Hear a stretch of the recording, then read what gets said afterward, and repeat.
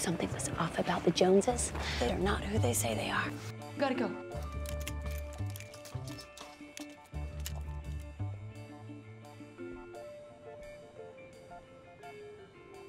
Just stick to your routine. No, no, no, you're absolutely right. Hello, Karen. Natalie, what a surprise. um, I, you've got no clothes on. You're on the phone. I, I, I'm gonna go. To be continued. I was just leaving Tim a voicemail.